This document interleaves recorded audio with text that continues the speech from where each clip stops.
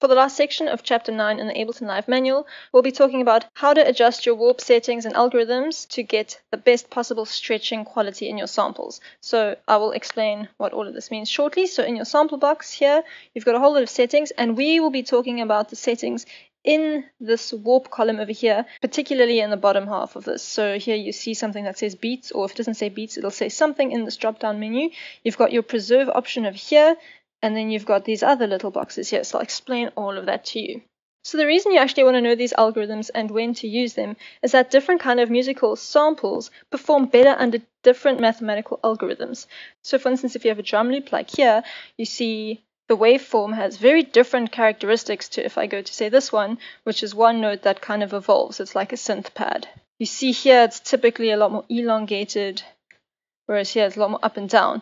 This has a lot more transients. So a transient is like an attack when there's not really sound and all of a sudden there's a hit. So drums have a lot of transients, whereas say evolving synths or single notes don't really have transients because they start and often when they start there's a slow attack time like here and then a release. It's not jagged. So Live offers a number of time stretching modes to accommodate all sorts of audio material, and the warp modes are different varieties of granular resynthesis techniques so granular resynthesis is the process that your clip undergoes when you warp it. And what this process does, it either compresses your sample or expands your samples. So it achieves this by either jumping over bits of audio in your sample to make it shorter or by repeating certain bits in the audio to make it longer. And this process is called granular resynthesis. So if something's jumping over grains, it's essentially jumping over various samples in here. Don't worry too much about those details. What we are worried about now is to investigate which warp modes work best for different types of signals and how to adjust all these warping controls to get clean stretching. So you don't want to stretch your drum loop and then all of a sudden have all sorts of weird artifacts that you didn't intend to have in your music. A little side note for you experimental artists out there. Sometimes you want to have weird noises in your drum loop and play around with those. By all means, use the quote unquote wrong algorithms, but for the sake of this tutorial, we're going to be talking about which algorithms to use to get the smoothest and best quality audio. So let's start by talking about beats mode. So as the name suggests, beats mode is good for beats, so drum samples or anything with a lot of transients. So it works well for samples where the rhythm is dominant, so if not a drum loop, even like an EDM track or something like that. In this case, the granulation process is optimized to preserve these transients in the audio material and not to kind of gloss over them. It would rather gloss over some of the samples towards the end that don't really give the drums the punch that you typically desire. Alright, so you've got beats here. So once you've chosen your beats algorithm here, you can see below it says preserve and you've got another drop down menu. So like I explained just now, with drum loops you want to preserve the transients, typically, because they give the drums the characteristic punch and hit and rhythm in your music. So we're going to choose transients. And what this setting does is it uses the position of the analyzed or user created transients to determine warping behavior. So if you rather want to preserve things like quarter notes or eighth notes instead of the transients, like for instance this transient is it's not in a random place, but it's not like on one of these grids. So if you'd rather preserve strict measures, then you can also change it to something like quarter notes Another thing you've got down here is your transient loop mode chooser. And the transient loop mode chooser sets the looping properties for the clip's transients. So for instance, if you want this part of the sample to elongate, the algorithm is going to have to repeat something to kind of keep the sound going. So that's where you're going to have to choose your transient loop mode. So the top one over here with the arrow against the wall, is loop off, which means that each segment of audio between the transient plays to its end and then stops. So if this were to be carried on, it would just play this and then there'd be silence until the next transient starts. Any remaining time between the end of a segment and the next transient will be silent. Okay, the other option is to loop forward, so that's the two arrows pointing to the right. And when you've got this activated, then each segment of audio between the transients plays to its end, Playback then jumps back to a zero crossing near the middle of the segment and continues looping until the time when the next transient occurs. So let me zoom in and show you what that means. A zero crossing occurs between a peak and a trough. So for instance, over there, it's basically when your y value is zero. So if you've got this loop forward enabled, it's going to play the transient, go to the end, which is going to have a zero crossing, and then it's going to jump to another zero crossing and keep kind of looping like that until the next transient occurs. So until it's time to play the next transient. Then you've also got right at the bottom here an arrow to the right and an arrow to the left. This is your loop back and forth. And what this does is that each segment of audio between the transient will play to its end. But instead of kind of jumping to a zero crossing and keep playing from there, it's going to go back and forth. So the playback will reverse until it reaches the zero crossing near the middle of the segment and then proceed again towards the end of the segment.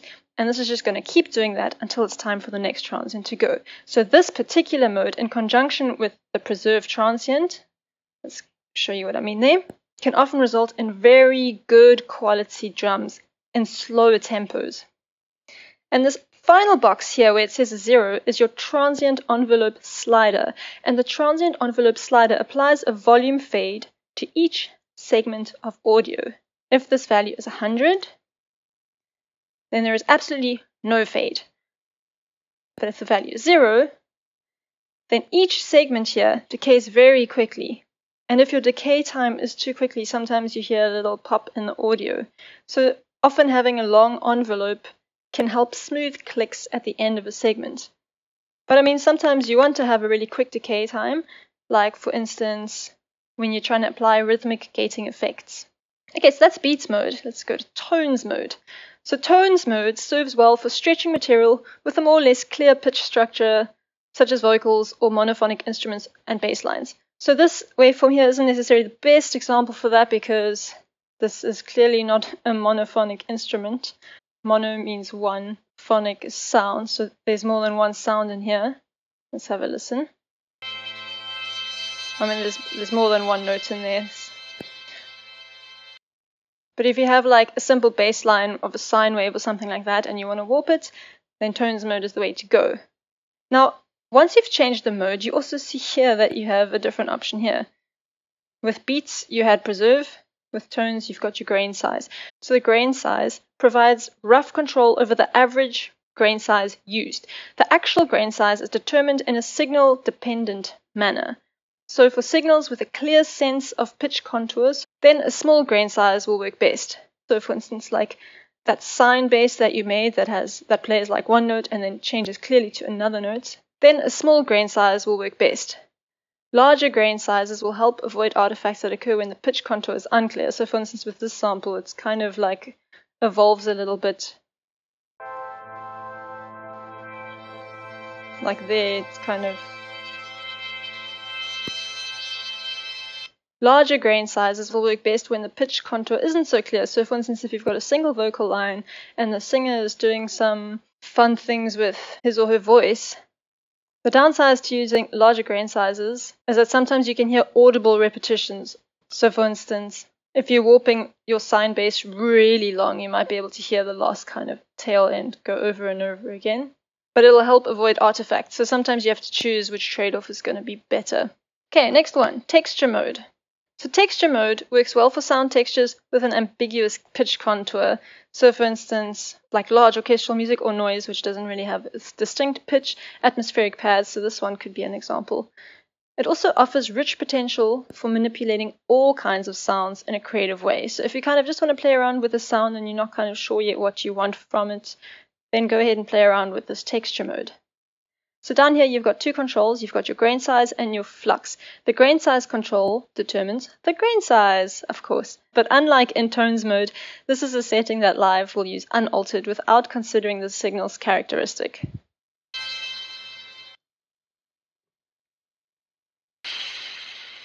So you can hear a very big difference when I make a drastic contrast to the grain size. You've also got this flux. So fluctuation introduces randomness into the process. So again, we're playing with textures and we're trying to create cool sound design and sometimes you don't want the grain segments to be predictable. So by changing the flux, you're going to be having random distances between the different samples. The larger this flux number, the higher the level of randomness.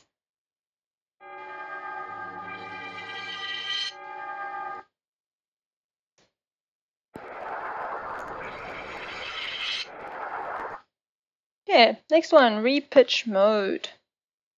So as the name suggests, this is the mode where you can change the pitch. In repitch mode, Live doesn't really time stretch or compress the music.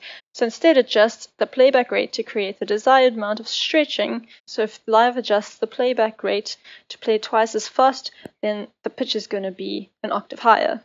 This is very similar to the DJ stretching method of using variable speed turntables to sync two records.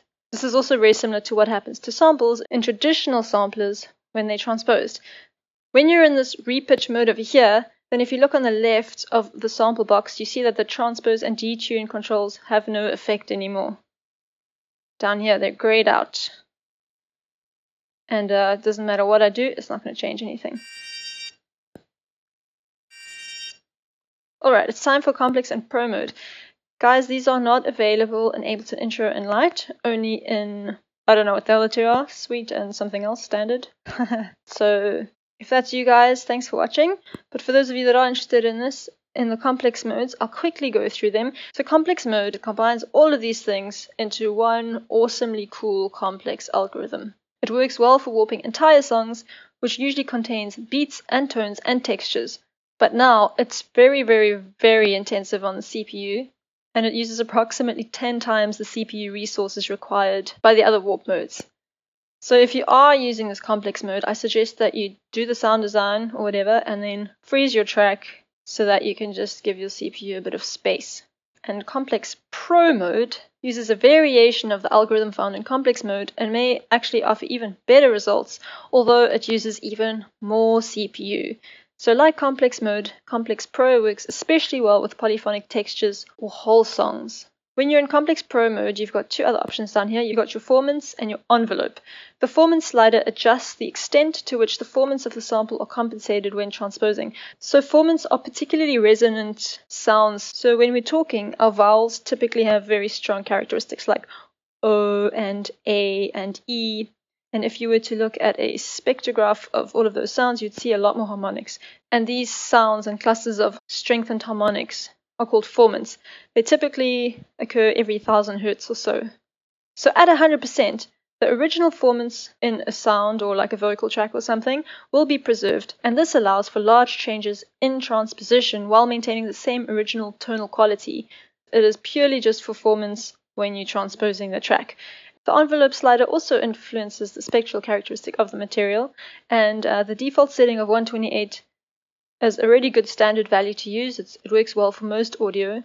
For very high pitched samples, you may have better results with lower envelope values, and for low pitched material, you may have better result with higher values. So feel free to experiment if you're working with extreme ranges, but otherwise it should be good on 128. So with most sliders in Ableton Live, you can hover your mouse into a box, click and drag to change the values, or you can just input a number with your keyboard and hit enter, which is a lot quicker if you're looking for a precise value.